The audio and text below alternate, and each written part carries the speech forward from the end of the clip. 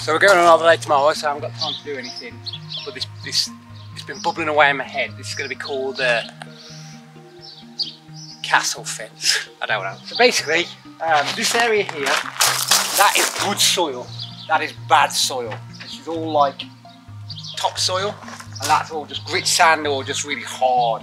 So um, what I want to do is create a border here, but I don't want to just do a boring border because this is like the play park. So you can see, yeah, you can see there's the swings. So I want to make this an interesting feature. So the, the idea is I'm going to do it like a castle. So hopefully at the end you'll look at it and think castle. Right, um, let's crack on.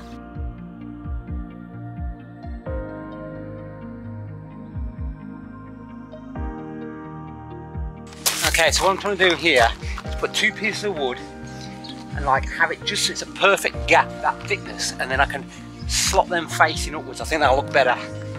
Uh, I think that'll look really cool. But I'm just struggling with the bend, it's hard. Need a bigger screw.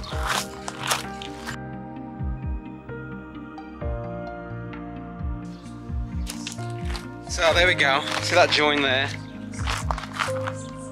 And they'll all just slot in. So, gonna do that one there, the other one the other side, and then it should be really easy. Okay, I think this is working.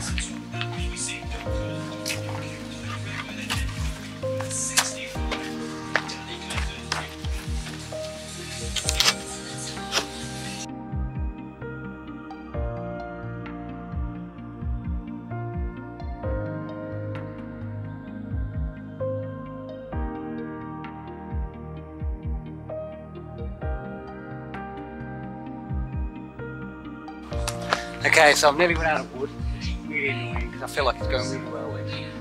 Uh, I like it. I'm going to put, I want to just, well, it's important. One, you save enough, a short length and a long length for next time because it's just so much easier measuring off that than measuring each time. I'm going to do like a bead thing along the top. I think that'll just make it smarter. Uh, maybe a little bit safer. I don't know, but yeah, let's crack on with that. That is coming on well. So just nearly halfway I reckon.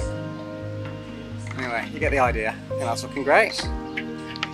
So it's a scorcher of a day today. I've got some timber again, boom, excellent.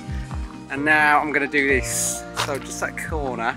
I sometimes wish I could just switch off my brain because I've already got the plan now. I'm gonna do a turret in that corner just to make it extra interesting. Now, this bit here See how it overlaps? That's a slight problem in my plan, but I've had an idea now, which again, I kind of wish I'd just keep my brain switched off, but I'm gonna do like a secret, um, uh, one of those drawbridge, like a secret draw drawbridge which goes over the plants. I'll have to move those plants which I've only just planted, but that'll be like, and try and blend it into the wall, and so that'll be like a secret escape route.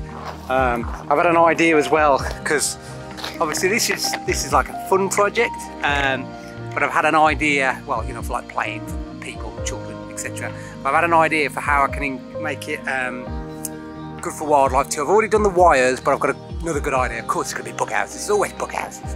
Um, but uh, yeah I think it's going to work well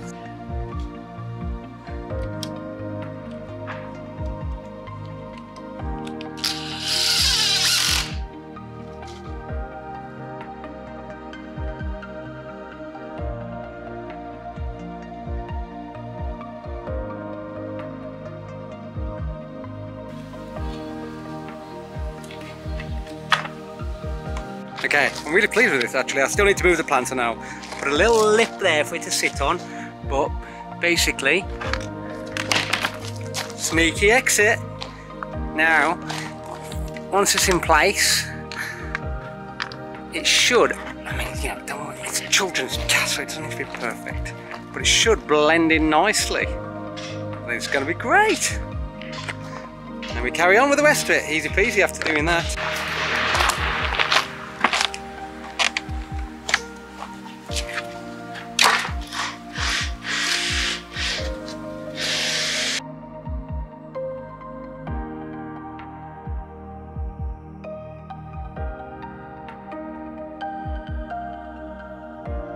Okay, day two.